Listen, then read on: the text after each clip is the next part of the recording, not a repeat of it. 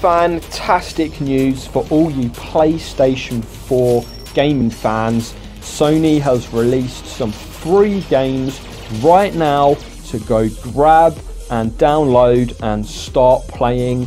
Play at home is here, absolutely fantastic.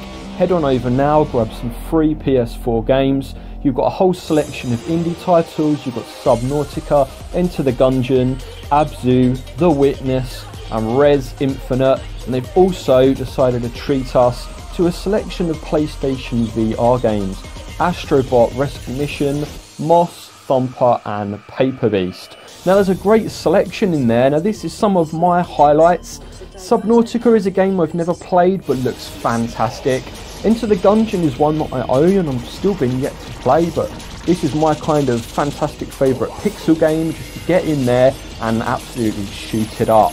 You've also got Astrobot, which can be played on the VR, but it looks like you can play that without that as well. So this looks a fantastic, varied gameplay game with a bit of platforming and all kinds of gadgets that you can use from the PlayStation 4 controller. I can't wait to have a go on that and give that a shot.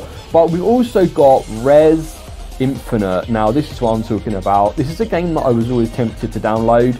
Again, never got around to it. So there's a whole stack of games to add to your library. You can play them and own them and keep them. Fantastic. Yes, mate.